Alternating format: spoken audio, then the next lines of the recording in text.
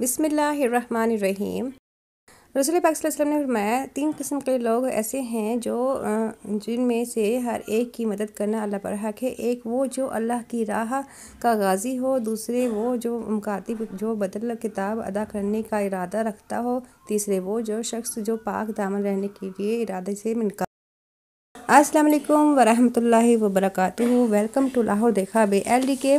How are you my YouTube family hope will be fine इन तो मिलते हैं break के बाद।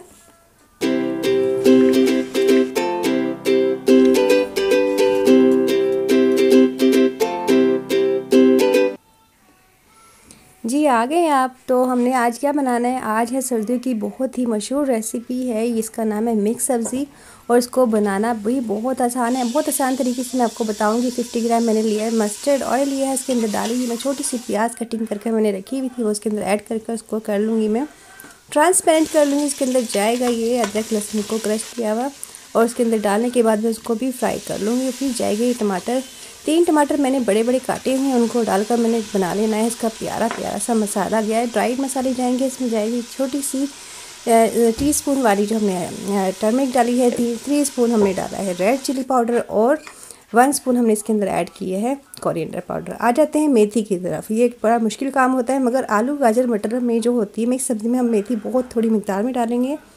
देखिएगा, इसको हमने पीछे की बड़ी डंडी को हमने छोड़ देना है और आगे के पत्ते और जो नरम हिस्सा है, उसका जो नरम नरम पत्ते हैं, उनको भी हम ले लेते हैं। इसी तरीके से इतना ही हमने डालनी है इसके अंदर मेथी और फिर हमने गाजर को पील ऑफ़ करके रखा हुआ था और धोकर फिर उसके बाद हमने इसकी कर लेनी है कटिंग ये देखें, गोल गोल हम काटेंगे। बहुत बड़े बड़े नहीं काटेंगे और बहुत ही बारीक बारीक भी नहीं काटेंगे। आधे इंच से भी आधा इंच हमने इसका साइज़ रखना है और इसी तरीके से हम करते जाएँगे और दूसरी तरफ़ हमारा हो गया मसाला रेडी तो उसको हमें क्या करना है? इसी के अंदर हमने डाल लेने सारी गाजरें डाल देंगे इसके अंदर और उसके बाद थोड़ा सा पानी डालकर इसको फिर से हम मिक्स करेंगे। अच्छी तरीके से मसाला हमने बहुत अच्छी तरीके से भुना है। फिर इसको हमने दो तीन मिनट के लिए वेट लगाया। ये देखें। और फिर हमने मटर जो छिल कर रखे हुए थे, वो भी हम इसके अंदर फटाफट से ऐड करते, कर देंगे और उसको फिर से चलाने के बाद फिर इसको हम दो मिनट के लिए फिर वेट लगाएँगे। इसी तरीके से फिर हमने दूसरी तरफ़ आ जाएँगे। आलू की तरफ़ उनको पिल करके उनको हमने छोटे छोटे इसके क्यूब्स काट लेने, बहुत बड़े बड़े आलू नहीं डालेंगे इसके अंदर। क्यूब्स काट कर हम इसको, जैसे कि आपका आलू बहुत बड़ा है, उसमें से आपके आठ दस क्यूब्स बन जाने चाहिए। टाइप बीच में से चार हिस्से बनाएँ इसके और उसको बारीक बारीक क्यूब्स की शेप में आप काटते जाएँ। ठीक है, अब हमारे दो मिनट हो गए हैं, उसके बाद फिर हमने डालने इसके अंदर आलू डालेंगे। फिर डालेंगे इसके अंदर मेथी जो हमने वॉश कर कर रखी थी कटिंग करके वो भी साथ ही डाल देंगे। तीन से चार अदद हमने डाली हैं हरी मिर्चें। नमक हम इसमें ऑलरेडी डाल चुके हैं पहले। और फिर इसको अच्छी तरीके से मिक्स करने के बाद फाइनल इसको हमने क्या करना है? अच्छी तरीके से देखें इसके अंदर पानी कितना रखना है। पानी अगर है तो हमने इसके अंदर फिर पाँच मिनट के लिए हमने क्या करना है? वेट लगा देना है। दूसरी तरफ़ मुझे लगने लगी थी, भूख तो मैंने क्या किया एक तरफ़ हमने किए हैं, एक आलू मेरे पास बचा था, उसकी डिज़ाइनिंग करते मैं आपको दिखाती हूँ कितनी खूबसूरत मैंने इसकी डिज़ाइनिंग की है। इसकी कटिंग करते हैं मैंने ऊपर बना लेते देना बहुत ही प्यारा सा इसके ऊपर स्टार बनाया है। डेकोरेशन है, इसको आप किसी भी चीज़ पर कर सकते हैं। वो होता है ना बाद दफ़ा कुछ ना कुछ करने का दिल कर रहा होता है। तो मेरा दिल किया, चलो हम आलू पर ही ट्राई कर लेते हैं। फिर इसके बाद दूसरी चीज़ों पर कर लेंगे, मगर ये बहुत ही खूबसूरत हमारा बना। उसके बाद फिर हमें दिल करा कि कुछ चीज़ें हमें फ्राई भी करनी चाहिए जब तक हमारा खाना बन रहा है। टी के साथ, चाय के साथ मैं कुछ ना कुछ फ्राई कर लेती हूँ। तो ये देखें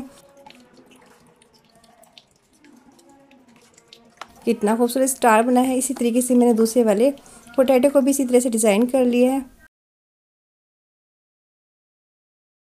ये देखें। ज़बरदस्त, ये दोनों हमारी बहुत ही प्यारी शेप बन गई है और बहुत ही खूबसूरत लुक दे रही है। हम सैलड में भी इसको यूज़ कर सकते हैं एज ए डेकोरेशन। ठीक है, फिर उसके बाद जो हमारा सेंटर वाला हिस्सा बचा है, इसको मैंने लगाए हैं, स्ट्राइप्स लगाए हैं, जैसे हम अक्सर खीरे के ऊपर भी डिज़ाइनिंग करते हैं, इसी तरीके से मैंने इसको भी किया है। और पूरे इस आलू पर हमने इसी तरीके से स्ट्राइप्स बनाते ही जाएँगे। जब हम काम करते हैं तो हमें काम करना बहुत आसान हो जाता है। आइडियाज़ निकलते जाते हैं।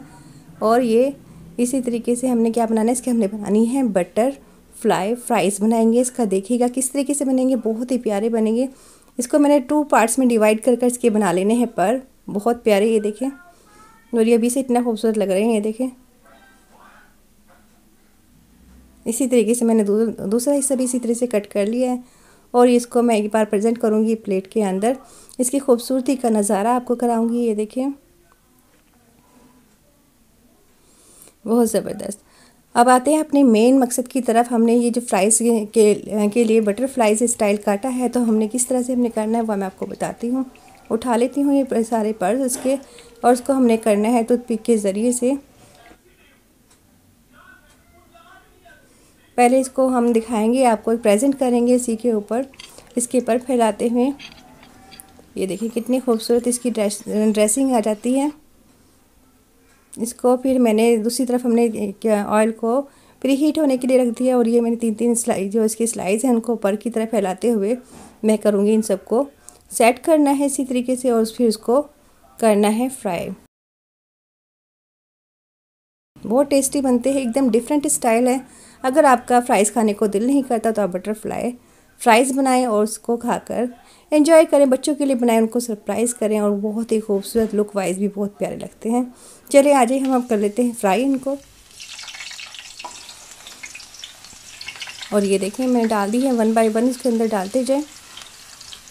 और इसी इसी तरीके से आपने करना है इसको टूथपिक में ब्रो के इसी तरीके से आपने इनको करना है। फ्राई बहुत जल्दी फ्राई हो जाएँगे ये। कुछ नहीं करना है, आपने इसके ऊपर कुछ नहीं लगाना, सिर्फ़ आपको सिंपली इसके अंदर डालें और फ्राई कर लें। मगर आपने क्या करना है, इसको टू टाइम फ्राई करना है, ये मैंने एक बार किया है। इसी तरीके से मैं निकालूँगी इनको सबको बाहर। दो मिनट का रेस्ट देने के बाद फिर से मैं इनको अंदर डालूँगी इसके ऑयल के अंदर, ये देखें। और ये फाइनल फ्राई हो चुके हैं, बहुत ही क्रिस्पी बने हैं, बहुत ही मज़ेदार बने हैं। और अगर आपने ज़्यादा बनाने हैं तो मैंने आपको बनाने का तरीका बता दिया तो आप इसी, इसकी क्वांटिटी को आप बढ़ा सकते हैं। प्रेजेंट किया मैंने प्लेट के अंदर, ये बहुत ही प्यारा लुक लग रहा है, ये देखिए। बीट कर रहा है ये फ्रेंच फ्राइज़ को, और इसके, जब आप इसको बनाएँगे और इसको खाएँगे तो आपको बहुत ही मज़ेदार लगेंगे। और इसकी एक यूनिक रेसिपी बनकर आई है, बहुत ही प्यारी। और देखिए, इसके बटरफ्लाई जो है, इसका लुक बहुत प्यारा आ रहा है। इसके जो पर हैं, वो बहुत ही खूबसूरत लग रहे हैं डिज़ाइनिंग के साथ। और उसको मैंने डालना है इसके ऊपर चाट मसाला। आपकी चॉइस है, अगर आप नहीं डालना चाहते तो आप नहीं डालें। और फिर इसके साथ मैंने रखी है ग्रीन चटनी जो मैंने बनाई हुई थी। पहले भी मैंने आपको बताया इसका तरीका किस तरह से बनाते हैं। इसमें लेते हैं धनिया, हरी मिर्चें लहसुन लेते हैं और ज़ीरा और नमक। अगर आप इसमें टमाटर डालेंगे तो इसका कलर चेंज हो जाएगा टमाटर वाली चटनी दूसरी होती है। ये देखें इतना प्यारा इसका कलर आया है। और ये बहुत ही मज़ेदार बनते हैं, यकीन कीजिएगा और ज़रूर ट्राई कीजिएगा, बनाना भी आसान है। दूसरी तरफ़ हमारी सब्ज़ी हो गई है रेडी मैंने प्रेजेंट किया। इसको बहुत ही प्यारी प्लेट के अंदर सर्दियों में की ये सौगात होती है, वो सर्दी में आपको एक बार लाजमी इसको बनाकर खाना चाहिए। अगर आपको अच्छा लगता है तो बार बार बनाएँ।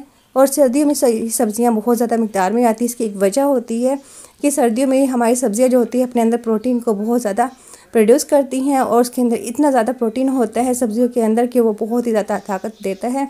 बहुत ज़्यादा हमारे अंदर इम्यून सिस्टम को बहुत अच्छा पावरफुल बना देता है और इसके अंदर जब मेथी डलती है वो हमारे स्टमक के लिए बहुत मज़ेदार होती है, बहुत ही ज़्यादा अच्छी होती है, हेल्दी होती है। आ जाती है हमारी जो बाकी मेथी बची थी हम उसको ज़ाया नहीं करेंगे, उसमें से हमने इसी तरीके से सबको साफ़ कर लिया है, वॉश कर लिया है और उनको हम करने लगे हैं कटिंग। इसका नाम होता है फेनुग्रीक फेनुग्रीक जो ग्रीक वर्ड है और ये पाया जाता था, ग्रीक में पाई जाती थी मेथी जो है तो होती है। फैनू का मतलब होता है घास, ग्रीक मतलब ग्रीक की घास जो वहाँ पर वहाँ की बकरियाँ बहुत ज़्यादा शौक से खाती थी, उनकी लाइफ टाइम बहुत बढ़ जाती थी, इसलिए लोगों ने भी खाना शुरू कर दिया। सबसे पहले मैंने क्या किया, मेथी ली है, उसके अंदर मैंने ऐड किया है, क्रश किया हुआ है, लहसुन लिया है ड्राई मसाले में रेड चिली ऐड किया है, ज़ीरा ऐड किया है और ये मैंने क्यूब्स में जो काटे, बहुत ही छोटे छोटे साइज़ में जो पोटैटो वो डाले हैं ग्रीन चटनी ग्रीन चिली डाली है मस्टर्ड ऑयल डाला है और उसके बाद फिर मैंने इसके अंदर ऐड किया है नमक। बस इसके बाद हमने कुछ पानी नहीं डालना, इसको अच्छी तरीके से मिक्स करें एक दो बार, चलाएँ से और उसको स्लो फ्लेम पर आपने इसको रख देना, जैसे हम किसी दम फ्लेम पर कोई चावल वगैरह रखते हैं। और इसको चलाने के लिए हमने जो हमारे वुडन के चम्मच होते हैं, उसकी बैक साइड से आपने चलाना है। जैसे ये एक ट्रिक होती है मेथी को चलाने की और ये बहुत ही मज़ेदार बनती है। ठीक है, हमने फिर इसको चलाया, इसकी अच्छी अच्छी तरीके से इसको फिर हमने दोबारा से हमने इसके ऊपर सिर्फ़ अपने ढक्कन को इस तरह रखना है, इसकी कवर को इस तरह रखना कि एक साइड से थोड़ा सा खुला रहे और फिर ये देखें फाइनल लुक इसकी चेक करें। और इसको बनने में ज़्यादा टाइम नहीं लगता और आपने देखा आपने देखा कि हमने इसके अंदर पानी बिल्कुल भी ऐड नहीं किया और ये बिल्कुल रेडी है। प्रेजेंट किया है हमने इसको बहुत प्यारी सी प्लेट के अंदर और ये एक प्लेट ही बनती है क्योंकि हमने जो बची हुई थी, मेथी हमने उसी का बनाया। अगर आपने ज़्यादा बनानी है तो आप ज़्यादा मंगवाएँ। और इसी तरीके से बनाएँ और अपनी मेथी बहुत ही मज़ेदार बनेगी। बिल्कुल भी कड़वाहट नहीं होगी। अगर आप प्याज के शौकीन हैं तो उसके अंदर प्याज डाल सकते हैं तो उसकी कड़वाहट और ज़्यादा ख़त्म हो जाती है। टमाटर भी ऐड कर सकते हैं, मगर ये भी दो तरीके से बनती है। जिस तरीके से मैंने बताई है, ये तरीका मैंने पहले भी आपको बताया, उसमें मैंने प्याज भी ऐड किया टमाटर भी ऐड किया तो दोनों तरीके से हम बना सकते हैं। तो आपको आज की मेरी रेसिपी कैसी लगी है? ज़रूर बताइएगा कमेंट्स में और मेरे चैनल को कीजिएगा सब्सक्राइब। जो नए सब्सक्राइबर हैं, वो जो कर चुके हैं, उनके बहुत बहुत शुक्रिया। अपना बहुत सा ख्याल रखते हुए मुझे दीजिए इजाज़त। ओके फिर। अल्लाह हाफिज़।